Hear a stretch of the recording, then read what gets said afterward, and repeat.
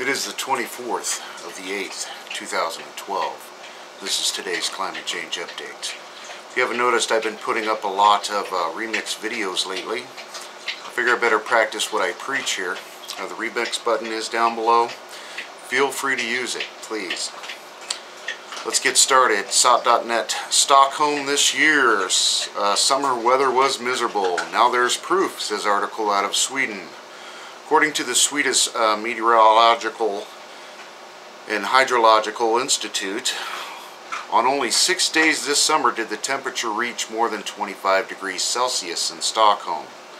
Last year, Stockholm had 28 days with uh, summer weather, i.e. days with a minimum temperature of 25 degrees Celsius. This year's just six days met this definition, four days in July and two in August.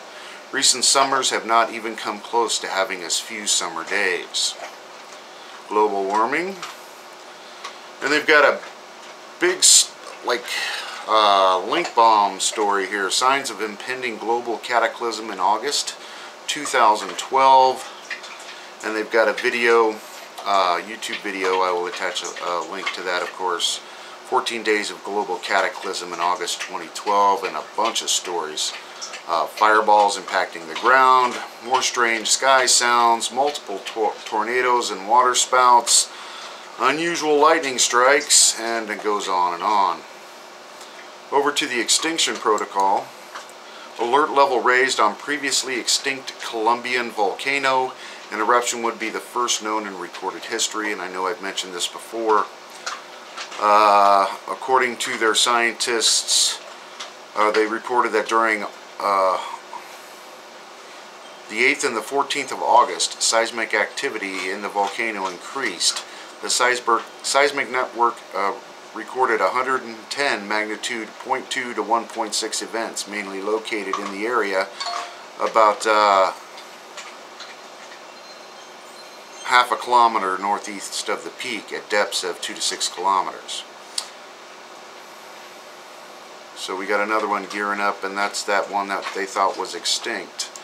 Over to the Watchers uh, Pacific Pacific Tropical Weather Outlook for August 24th.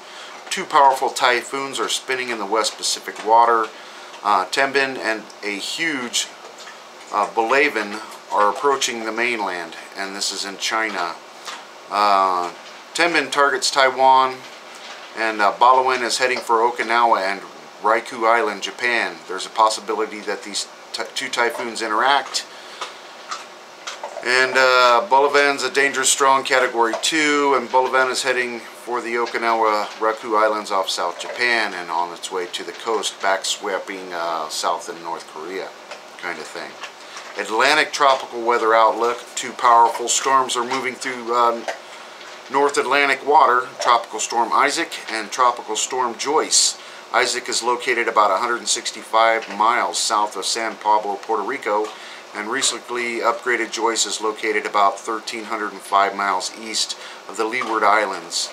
Another tropical wave located between uh, the west coast of Africa and Cape Verde Islands uh, shows shower and thunderstorm activity as it moves westward. Uh, so definitely very, very active. And I know China's, they were saying, it's been hit by like six typhoons this month already. Uh, the insanity continues. Over to the RSOE quick.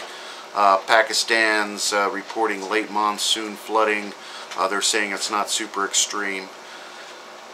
Uh, but, you know, again, roofs were collapsed and people were hurt.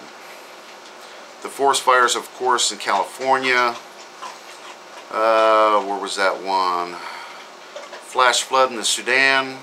Got a nuclear event in uh, South Korea. Apparently one of their nuclear reactors been operating since 1988 shut itself down uh, due to one of the gauges or whatnot. Uh, they haven't filled out a complete report, but uh, no threat to the community kind of thing. Uh, flash flooding in Las Vegas region of Nevada. Some heavy rains. One teenager was swept away and they're still looking for him. Uh, apparently one of the police helicopters caught some teenagers riding down uh, one of these deluges of water uh, on air mattresses, but uh, he said they all got out okay, kind of thing. And of course, the the forest fires around the world in Spain, Canada, Greece. Uh, they're saying half the island of uh, Chios, C-H-I-O-S, literally burnt down kind of thing. And a heat wave going on in France. Let's go to the nuclear stuff finally tonight. Uh, Yamada, the ENE news of course. Yamada, we cannot cover Fukushima Daiichi reactors like after Chernobyl. It's more complex than that. And of course, uh, the Japanese didn't even attempt, like the Russians, to dig under and try to contain this thing. Uh, listen, melted fuel may have broken through concrete under reactors. TEPCO just assuming it didn't, Fukushima volunteer says in an audio interview. And we all knew. Three. They've already reported the three have melted through. Many Fukushima nuclear wor workers uh, leaving after exceeding exposure limit. Young people must be trained to work at plant, a Tokyo professor is saying. So they're going to start grabbing these kids out of high school when they're still dumb. Six-year-old playing on radioactive waste dump 20 kilometers north of Fukushima Daiichi. Teacher, quote, I'm lying to a room full of students. Fukushima should, city should be evacuated. Reactor specialists on unit number three. I can't tell you if it's a hydrogen explosion or a nuclear explosion. Give me a break. Ah, Japan nuclear expert. Melted fuel may have gone through cement floor and into the ground under Fukushima reactors. I don't believe TEPCO's claim for one second.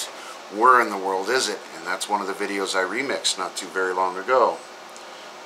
And uh, physician, we don't know what's happening. Cesium levels in soil not going down after Chernobyl. Some areas have gotten even higher. And just goes to show, after 30 years, there's just still nothing they can really do about this. the insanity continues. Nuclear power is a crime against humanity, and all nuclear reactors should be shut down. Uh, let's take care of it now while we still have a chance, or half a chance.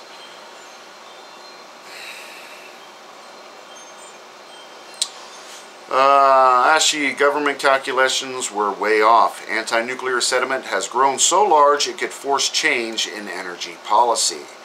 And they're saying that uh, they might just end up voting no nukes in Japan, which would be a very, very good thing. Uh, they've got a hell of a mess to clean up and a few million years to deal with it as we all do. Well, that's about all I'm going to throw at you tonight. Of course, don't forget to remix my videos and pass it along.